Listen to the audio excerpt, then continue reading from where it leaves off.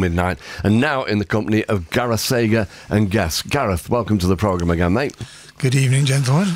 Um, a real pleasure to have you here. And uh, yeah, mysteriously, and guests, would you like to tell everybody who the guests are? Well, I've got Dan Connolly on bass, uh, Ian Holford on drums, and Davy Henderson on vocals. Fabulous. Okay. Um, before we get into the new album and various other things, and in fact, before we draw Davey into the conversation, um, we just need to um, sadly have a conversation about two of your friends and colleagues who passed away. Um, you've had such a, a, a, rough ride of it over the last few months. So, of course, uh, John Waddington of the pop group passed away, and I didn't know John, but I did know Mark, not as well as you, but Mark, Mark Stewart. I was I was coming home from uh, having a great afternoon out with a mate in town. I was in a really good mood, and then the message came through that Mark Stewart had passed away. Yeah. And I, you know, I only met Mark on a few occasions, but I he made such an impression on me. I absolutely loved the no, guy. No, he was uh, full of uh, full of life. There's no question about that.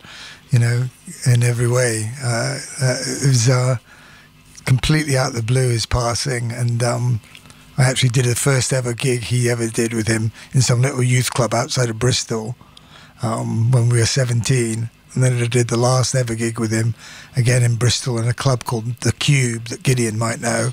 Um, and it yep. was a improvised jazz gig.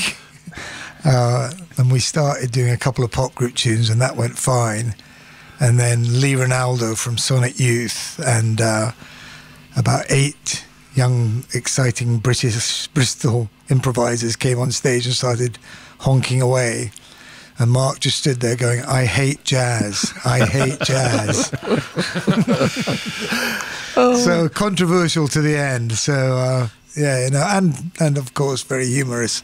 So, yeah, no, a colossal loss. Yeah. Colossal. Uh, yeah. You know, I, I have told this story before, but when uh, Mark came in first, so you did two pop uh, group sessions with us, but he came in first in a solo style, and I said to Michelle, never met Mark before. I'd seen the pop group playing yeah. naturally, but I said I don't know what Mark's going to be like. I know his music's amazing, but I expect he might be he might be very political, he might be very serious, he might not even want to engage in conversation.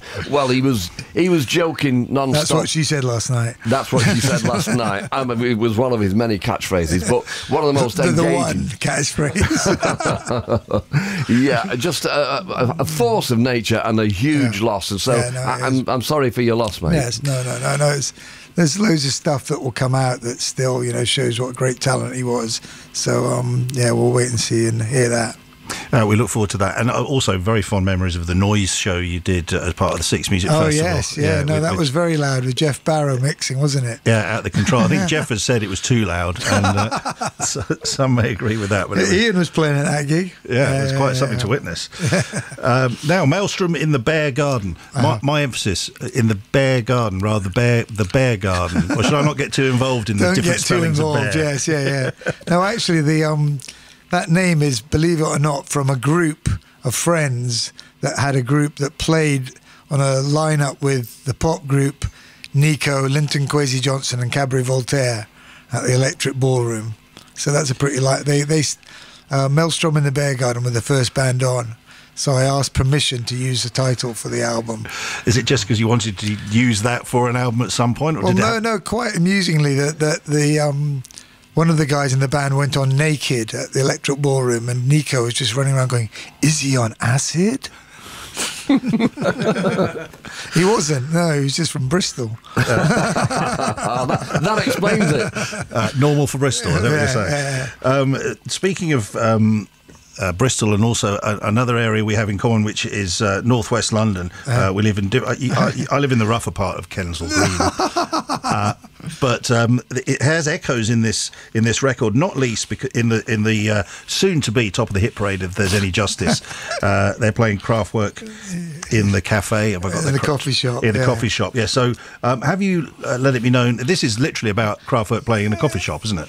Well, uh, it's it's just poetical. It's just poetical, and it, uh, Kraftwerk just seemed like the right sort of um, band to sum up the sort of whole gastro, you know, cappuccino society. Really, that um, you know something that was so great has been sort of um, taken and just sort of is used as background music now, which is um, sort of a bit of a pity, really. The first time I, um, I saw Bowie was in 1976 at Wembley, and he had a famous opening act on that tour, the, the, the White Lights tour, as such, uh, Station to Station '76, and he had Un Chien Andalou uh, was a film that played All right, before. yes, yeah, yeah, yeah. But as we didn't know at the time, but uh, the music that he was playing was Kraftwerk, and so you know, he, before Yes, the cafes, Bowie was doing it. He set Yeah. the, he set his stall out, pardon the phrase.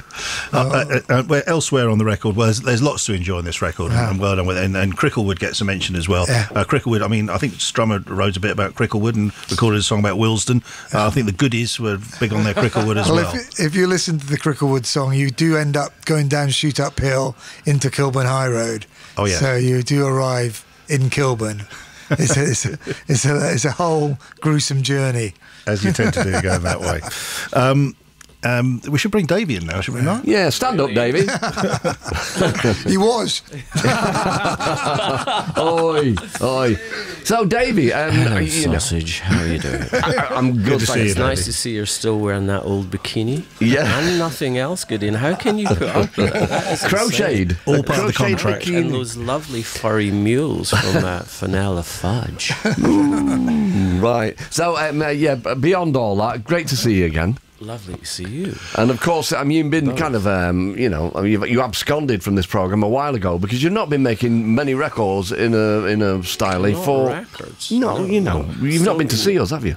Not, still making up tunes, but um, I don't know. There's too many records out there, as we were discussing earlier. There's just so much going on.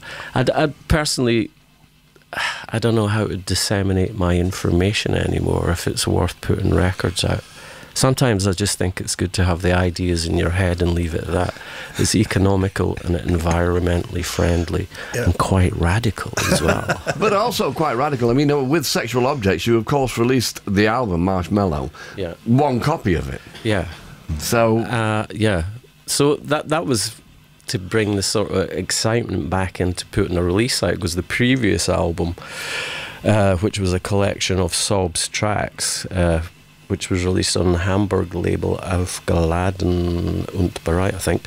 Um, it took about four years to sell 500 copies. and Right. That was quite disappointing, sort of. I didn't realise that until uh, we were supporting the Primals. I think you delivered the drum kit. You are a great That's Mark. drum roadie, baby. right, well done. okay. Well done, Uh, Mark. There you go.